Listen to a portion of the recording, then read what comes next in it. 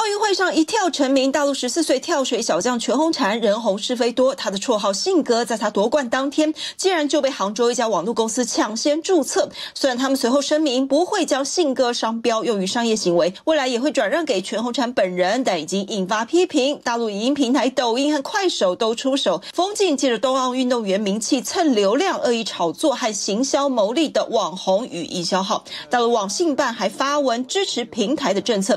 事实上，这次。许多大陆选手表现亮眼，成了网红蹭流量的目标。全红婵更是风暴中心。他的老家从早到晚人山人海，网红直播主蹭热度，打卡直播川流不息，简直让他的家人不堪其扰。祸不单行，德国奥会主席竟然也拿他开刀。德国这次奥运成绩创两德统一以来最差。他反指像全红婵的年纪，从小就要残忍训练，大陆培育幼童参赛有问题。不过外界认为他只是在转移焦点，毕竟德。国在滑板项目也派出了十四岁的小将参赛，只是苦了全红婵躺，者也中枪。记者叶伟林予以报道。